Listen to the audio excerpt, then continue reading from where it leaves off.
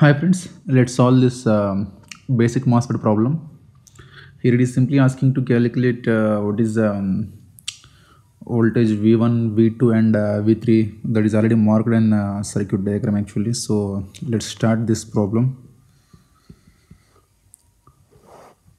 So here it is transconductance parameter also given that is 4 uh, milliampere per uh, volt square.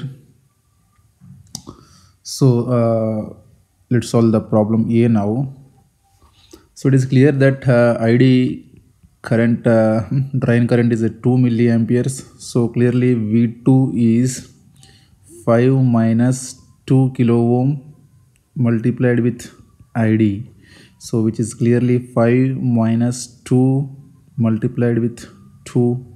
So it is uh, 1 volt. So this is a very basic problem actually. Now let's calculate what is a V1 now. So so clearly V2 we already calculated that is 1 volt and uh, VG is uh, 0. So V2 is also VD drain voltage. So VDG so drain to gate voltage is greater than 0. So transistor in saturation region.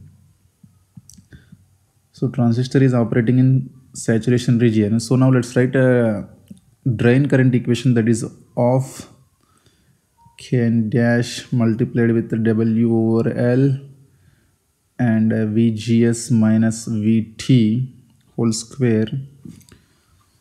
VT also given uh, sorry uh, it is not mentioned in uh, um, image. So VT is uh, 1 volt actually. So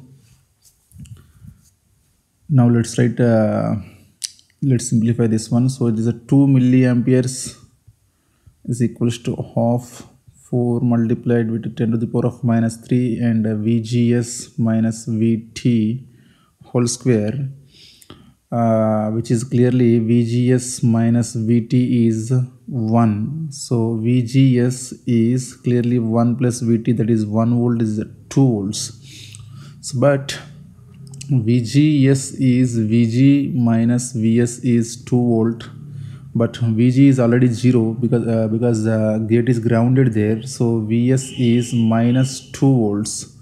So this is clear. Now let's go to uh, part uh, B. In part B uh, this is also having same parameters uh, transconductance and threshold voltage. So here it is given the MOSFET is diode connected actually so this is the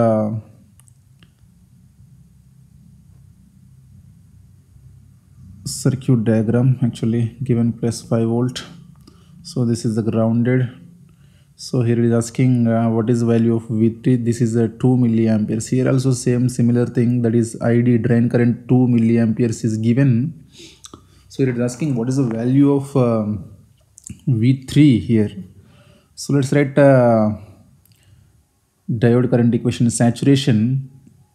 So that is uh, 4 multiplied with the 10 to the power of minus 3 vgs vgs is clearly v3 here minus vt whole square because uh, drain and gate connected to same terminal so vg is vd now.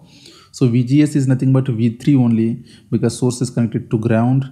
So v3 minus vt is uh, 1 so v3 is uh, 1 plus Vt that is 1 plus 1 2 volts. So in this way we can analyze uh, basic circuits MOSFET circuits at DC. So thank you for watching please subscribe my channel.